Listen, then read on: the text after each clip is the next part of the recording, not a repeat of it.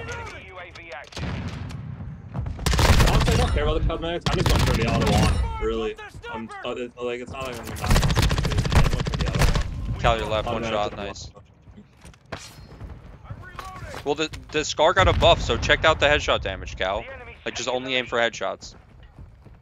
I've been using it the whole time. I'm just saying, only aim for headshots. Look, guys, I got the flares. I got the flares.